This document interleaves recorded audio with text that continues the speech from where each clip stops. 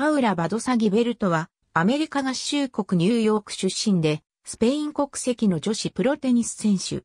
WTA ツアーでは、シングルスダブルスともに未勝利。身長180センチメートル。右利き。バックハンドストロークは両手打ち。WTA ランキング最高位はシングルス26位、ダブルス194位。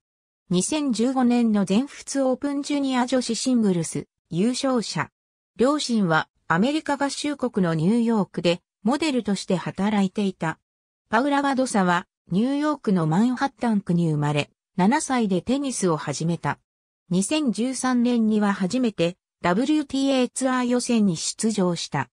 2015年のマイアミオープンではワイルドカードで本戦に出場し、チェコのペトラ・チェトコフスカと中国のテイサイサイを破って3回戦に進出したが、3回戦でチェコのカロリナ・プリスコバに敗れた。2015年には全仏オープンジュニア女子シングルスに出場し、決勝でロシアのアンナ・カリンスカヤを破って優勝した。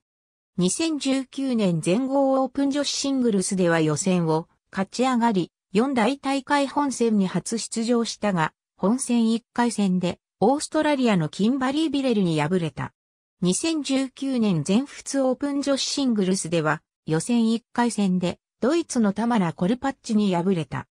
2019年ウィンブルドン選手権女子シングルスでは予選を勝ち上がったが、本戦1回戦でロシアのバルバラ・フリンクに敗れた。2019年全米オープン女子シングルスでは予選3回戦でポーランドのマグダレーナ FRCH に敗れ、ラッキー、ルーザーとして本戦に出場したが、本戦1回戦でオランダのキキベルテンスに敗れた。第33シードとして臨んだ2021年、全仏オープン女子シングルスではベスト8となった。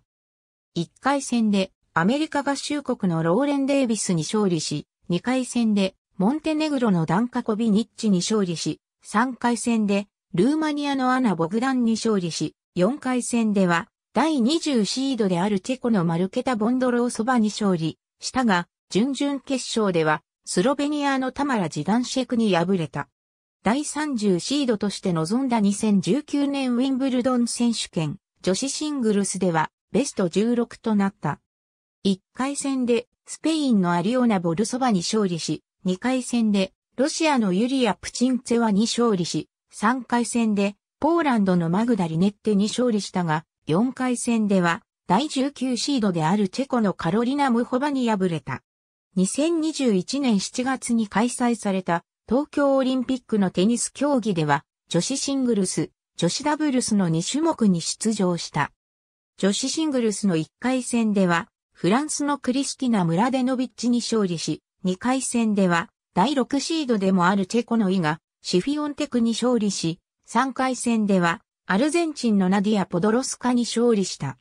準々決勝でチェコのマルケタ・ボンドローソバと対戦したが、第1セット終了後に熱中症のために途中、棄権した。女子ダブルスでは、サラ・ソリベストルモトペアを組み、1回戦では、メキシコのジュリアーナ・オルモスとレナタ・サラスア組に勝利したが、2回戦で第1シードでもあるチェコのバルボラ・クレーチコバとカテリナ・シニアコバ組に敗れた。パブロ・カレーニョブスタとペアを組んで混合ダブルスにも出場する予定だったが、女子シングルス準々決勝での体調不良もあって、初戦の前に撤退した。第24シードとして臨んだ2021年全米オープンでは1回戦でベルギーのアリソン・バン・アイトバンクに勝利したが、2回戦でロシアのバーバラ・グラチェバに敗れた。ありがとうございます。